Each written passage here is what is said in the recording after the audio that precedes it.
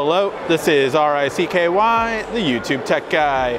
Hey guys, so I know one thing a lot of you always want to know, and that is the benchmark results for the Note 10 Plus. So let me show you right now. So first of all, which version am I testing out? I am testing out the Exynos variant, so that's the first thing to note. Second of all, it is the 12 gig of RAM version with 256 gigs of storage. So that is the model we are testing out here. It is in the full resolution as well, not the 1080p resolution for all of these tests.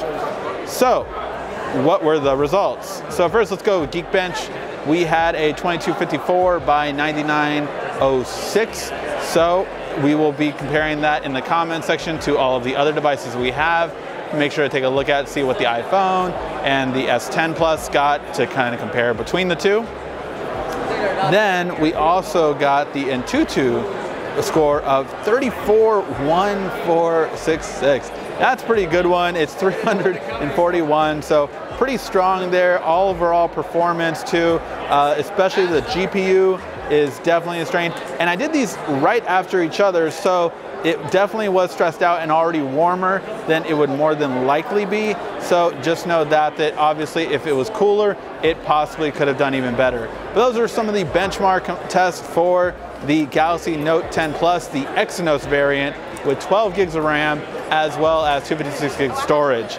Let me know in the comment section what other tests you want me to see when I get this in the studio. Thank you as always for watching. This has been R-I-C-K-Y, the YouTube Tech Guy. Thank you for watching our video. If you liked it, why don't you go ahead and subscribe up there. Make sure you follow us on social media right here. And of course, check out our latest video up there. And right down here, you're going to find the perfect video for you. Or at least that's what YouTube tells me. Thanks again.